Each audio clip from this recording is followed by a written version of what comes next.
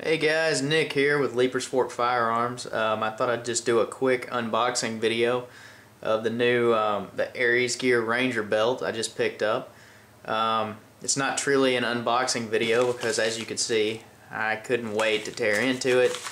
So um, yeah, I already ripped into it so I could put it on and wear it around. Um, I ordered this on August 2nd and today is the 17th so, you know, they're a little bit faster than the four week wait time they've got on their website. And I can't say enough about the customer service and support. Uh, they keep you up to date with uh, the status of your belt through the whole process. And um, generally, it's just good stuff. Uh, here's the belt itself. As you can see, very stiff belt. Um, of course, with the Cobra buckle, which is very, very nice very secure. Um, you can see the quality of the stitching and the workmanship on this thing is just great. Uh, it's going to be my everyday carry belt for sure. And uh, it's just a great product.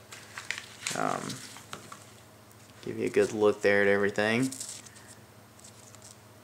The only very slight downside I have to say to this belt is, let me just show you, when you've got it on, and need to take it on or off, since this weaves through here, when it's on, you have to remove this to take the belt on or off.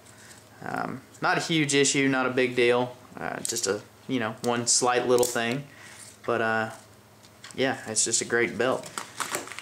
Here's what also came with it. Got me, uh, sent me some Ares Gear stickers, which are pretty neat and their little advertisement. Stiffer is better. AresGear.com. Um, yeah, they also sent me, as you can see here, a dealer agreement. Yeah, so uh, take a look and keep an eye out for that. We may be uh, stocking some Ares gear down the road a little bit. You never know. So, um, for more information or to look at what we're about, go to www.leipersforktactical.com.